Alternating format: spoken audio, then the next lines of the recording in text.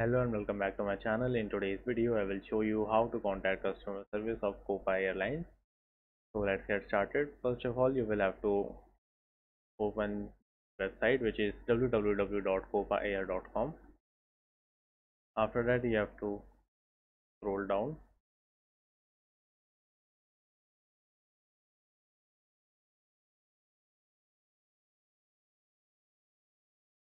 then you have to click on information and click on customer support.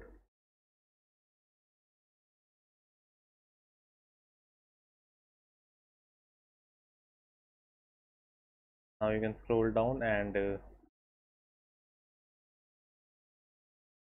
choose your country and then you will be able to contact them.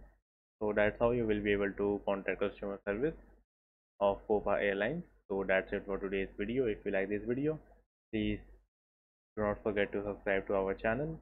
Thank you